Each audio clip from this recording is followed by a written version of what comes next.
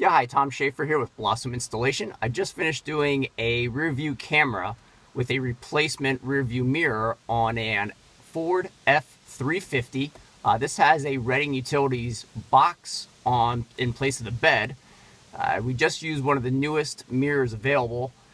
This is a self-dimming replacement mirror with a 7.3 inch screen. Check out this picture. The entire screen becomes a camera picture of the backup image. 7.3 inches. Very cool stuff.